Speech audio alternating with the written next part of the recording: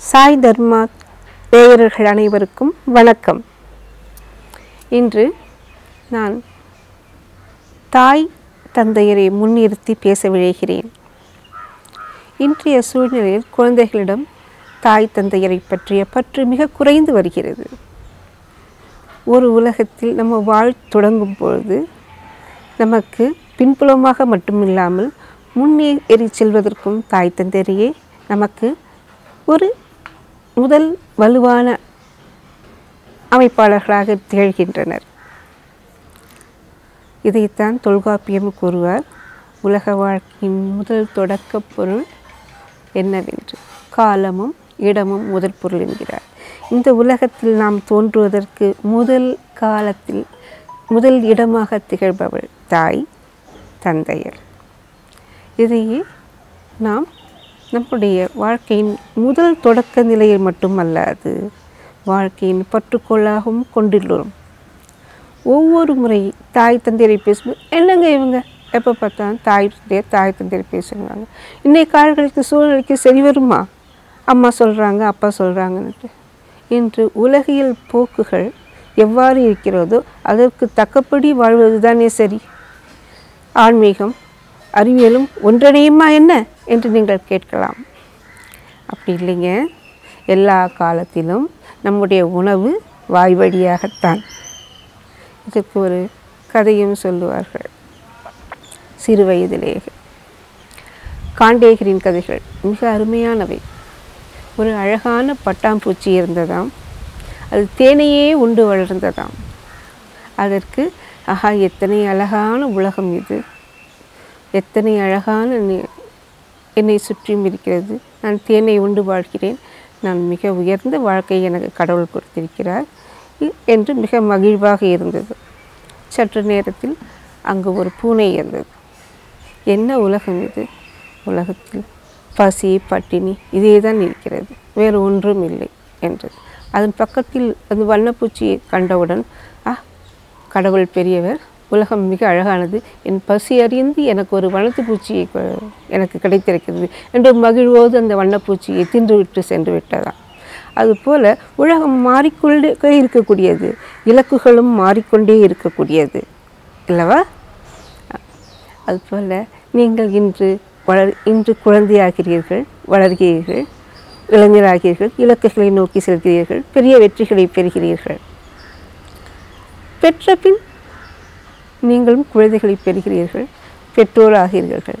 ஒரு இலக்குகளை வைத்துக்கொண்டு குழந்தைகளை இவ்வாறு உலகத்தில் இப்படித்தான் கொண்டு செல்ல வேண்டும் என்று சிரமப்படுகிறீர்கள். அதனால் தாய் தந்தை என்பது வெறும் ஒரு வளர்ப்பு நம்மை வளர்த்து நிற்கும் நிலை மட்டுமல்ல நம்மை வாழ்க்கையின் பாதையை கற்றுக் கொடுப்பவர்கள். இப் உலகத்தில் பிறக்கிற எல்லாரும் எதையோ ஒன்றை சாதிக்கணும்னு நினைக்கிறோம். இல்லை ஏதேனும் ஒரு பொருளை அடையணும்னு நினைக்கிறோம். இல்லை நாம் தனித்து நின்று எதையாவது வென்று காட்டி தனியொரு நிலையை காட்டணும்னு நினைக்கிறீங்க. இப்படி உங்களுடைய நிலை எதா இருந்தாலும் அந்த நிலையை அடைவதற்கு உங்களை உங்களுடைய நிலையிலிருந்து ஊக்கி எடுத்து செல்பவர்கள் தாய் தந்தையராக தான் இருக்கிறாங்க. நம்மளுடைய பழைய கதைகளை பல பழைய வரலாறுகளை பார்க்கும் போதெல்லாம். எடிசனை எடுத்துக்கிட்டிங்கன்னா அவரை ரொம்ப மக்கு பிள்ளை இது ஒன்றுத்துக்குமே லாய்க்கில்லை வேண்டான்னு ஒதுக்குனாங்க பள்ளிக்கூடத்தில். நிறுத்திட்டாங்க. வேண்டாம் எங்கள் பள்ளிக்கூடத்துக்கே வேண்டான்னு. ஆனால் அவங்க அம்மா சோர்ந்து போகலையே. பிள்ளைக்கிட்ட சொல்லலையா. உன்னை வேண்டாங்கிறாங்க. உன்னை வச்சு நான் என்ன பண்ணட்டும் அப்படின்னு. தனியாக நின்று அந்த பிள்ளையை ஊக்கப்படுத்தி நீ அறிவாளி நீ படி உனக்கு வேணுங்கிறதெல்லாம் நான் செய்கிறேன்னு சொல்லிட்டு இயலாத நிலையிலும் தன் பிள்ளையை ஊக்கி அவனை மேலெழுந்து பெரிய சாதனை அவனுக்கு உள்ளிருக்கும் அறிவின் வெளிப்பாடை பல கண்டுபிடிப்புகளும் நிறுவ துணையாக இருந்தவள் தாய்.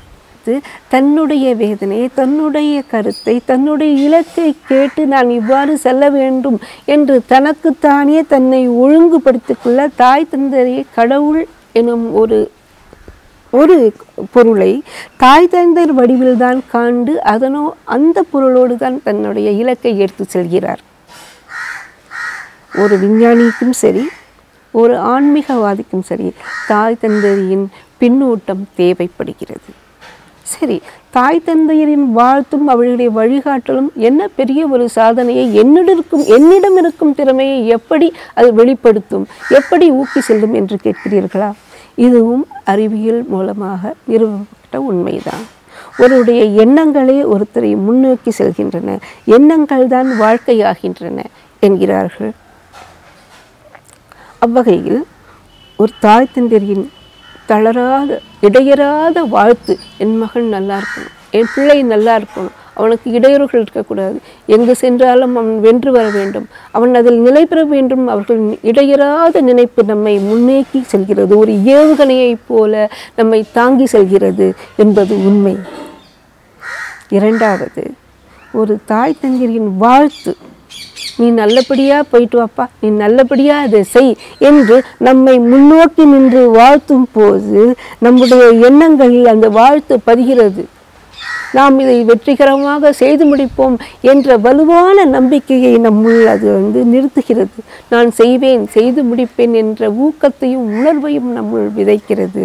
அதை நம் அன்போடு அவர்கள் விதைக்கும் அந்த விதை நம்முள் ஆழமரமாய் ஆழ்ந்து நின்று ஏ அத்தனை உயரத்தையும் இயல்பாக எளிதாக சென்றடைய நம்முள் வேரூன்றி நிற்கிறது.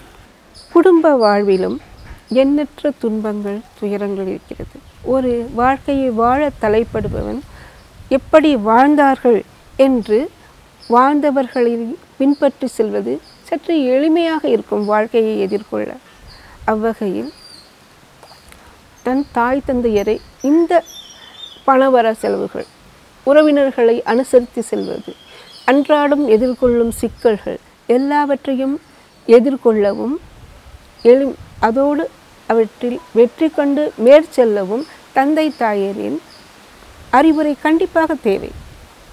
பொருளாதாரமாகட்டும் அடுத்தவரை மனைவியை குழந்தைகளை அவர்களின் போக்குக்கு ஏற்ப அணைத்து செல்வதற்கும் தடுத்து நல்வழிப்படுத்தவும் பெற்றோரின் அறிவுரை கண்டிப்பாக தேவை.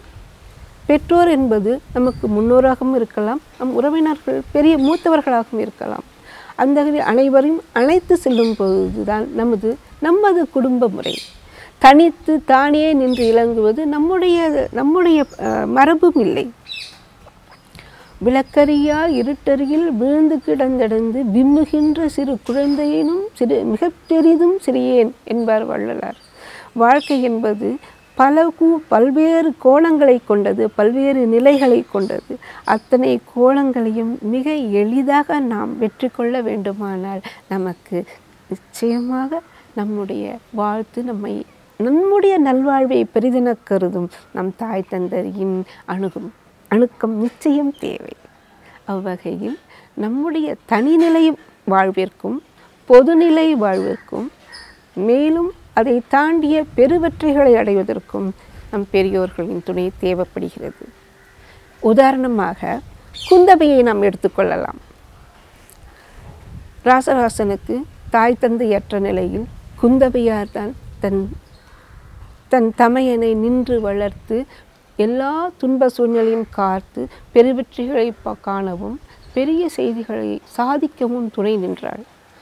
அதே போல் மகாபாரதத்திலும் குந்த் குந்தியார் தான் தன் ஐந்து மகன்களையும் தந்தையற்ற நிலையில் தனியே வழிநடத்தி காத்து இன்பத் துன்பங்களெல்லாம் உடன் நின்று ஒற்றுமையாக அவர்களை கொண்டு சென்று ஒரு நற்கதிக்கு கண்டு கொண்டு சேர்த்தார் அவ்வாறு எல்லா வாழ்க்கை நிலைகளிலும் எல்லா எல்லா வெற்றிகளை அடையவும் துன்பங்களை கடந்து செல்லவும் நம் தாய் தந்தரியே நமக்கு சரியான வழிகாட்டிலாகவும் வழித்துணையாகவும் அமைகிறார்கள்.